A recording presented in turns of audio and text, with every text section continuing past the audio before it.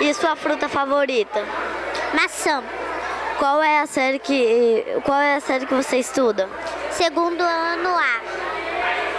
É, como é o nome da sua professora? Ah. Jordiana. Ah.